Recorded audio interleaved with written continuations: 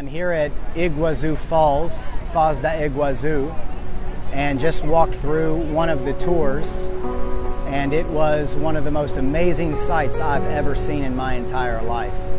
The beauty, the fresh water, the fresh air, and all the amazing sightseeing was just marvelous.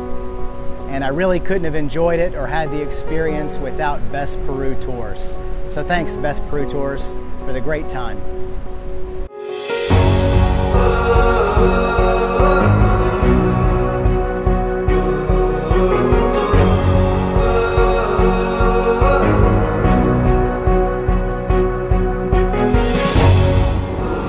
Uma cafeteria ou restaurante Porto Canoas, tá ok? Esses adesivos que eu dei vocês